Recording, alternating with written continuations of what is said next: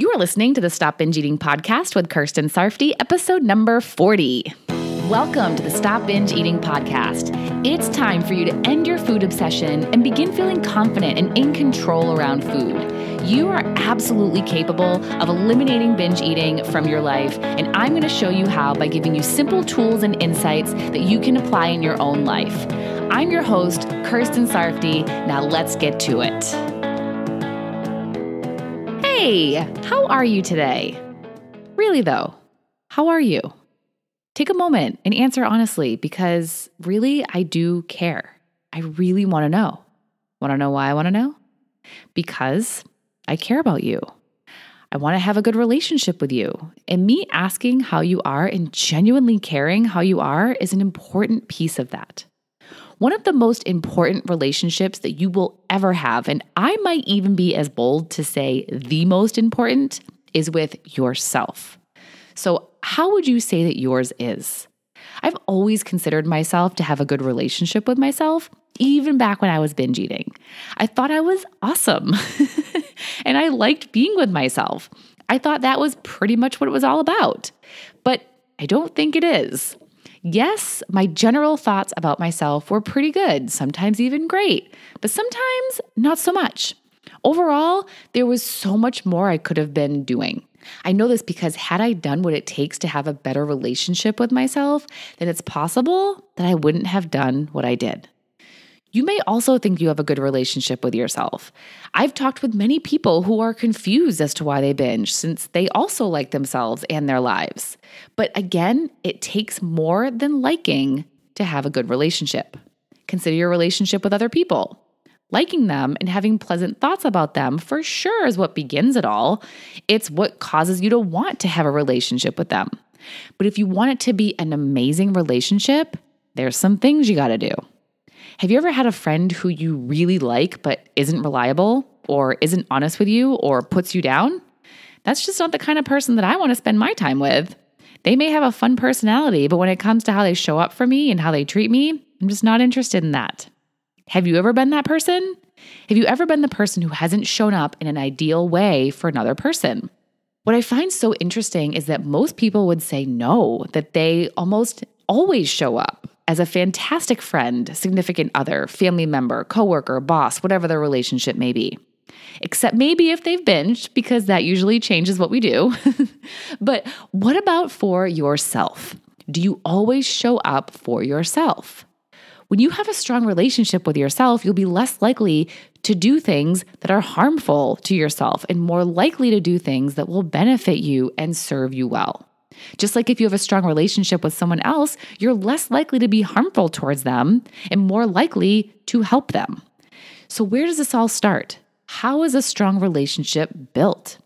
Well, like with everything, it all starts with what you think.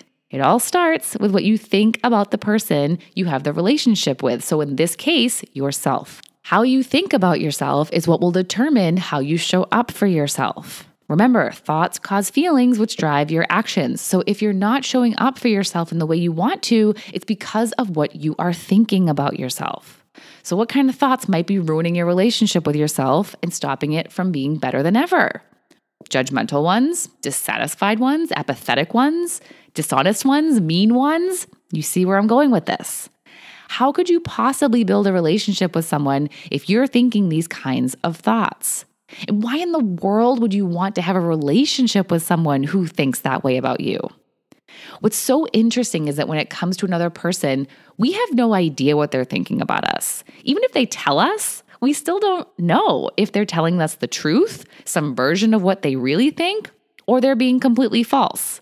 So we have the option of believing whatever we want and thinking whatever we want about them. And our relationship with them can be whatever we want it to be we can think it's solid because our relationships are just our thoughts about the other person and how we show up as a reflection of that. You and I are a perfect example of this, how our thoughts define our relationship. I think that my relationship with you is amazing. I love you. And I think you're awesome exactly as you are, binge eating and all. I believe I can trust you and I can be vulnerable with you and share my personal stories, I care about you. And because of all this, I show up every week and give you my help. Many of you listening, I have never even spoken to. And with the ones I have, most of them I've never met in person. But I still think these thoughts about each and every one of you, which creates a great relationship in my perspective. And then let's flip it. What is your relationship with me? Again, we may never have spoken. And if we haven't, what the heck? Come work with me already. It's so fun. but really, I bet you have some thoughts about me that make you feel like you have a relationship with me. I feel like I have relationships with my teachers who I've never met too. And it's all because of our thoughts we think about them. So if you don't have a great relationship with yourself, it's because of all those negative thoughts you're thinking about yourself. And you may not think you have them, or maybe you're fully aware of them, but regardless, they are there. Whatever they are, they are most likely you judging you for the way you are and you wanting you to be different. That is not the way to build a good relationship. You don't like your own thoughts, feelings, and actions, and therefore you try to ignore them and you lie to yourself to justify ignoring them. You beat yourself up when you think, feel, or do something you think is wrong. You hold grudges and break commitments and tell yourself you don't matter and say you don't care. How would you like it if someone did all those things to you? I bet you'd stay far, far away from them and probably not like them very much too. So when you do that to yourself, any of those things, you will begin to distance yourself from yourself, lose connection with yourself, and really lose sight of yourself. You don't want to be around yourself anymore. And that's when you start to numb out with food so you can just ignore everything.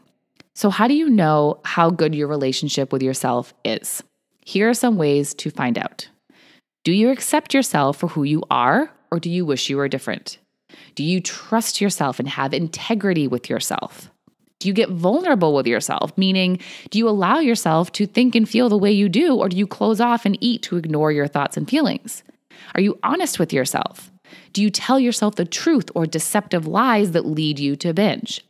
Are you kind with yourself if you eat too much, or do you beat yourself up for it?